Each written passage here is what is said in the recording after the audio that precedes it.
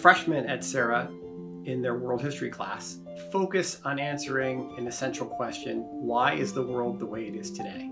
So, anything that's happened in the past that gives us a better understanding of why the world is the way it is now, we focus on those, we lift those out.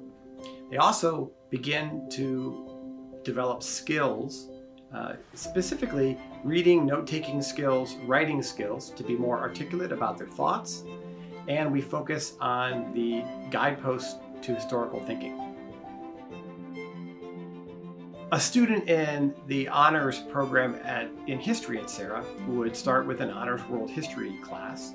Uh, junior year, they would be in advanced placement U.S. history. The sophomore year is a transition between the two. There's a third semester of world history and a beginning introductory semester of advanced placement U.S. history. Senior year, they take advanced placement government, American government class.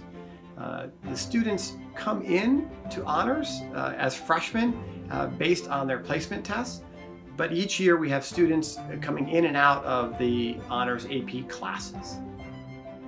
College prep course, uh, United States history, is geared to prepare students to think, read, and write critically for, for college.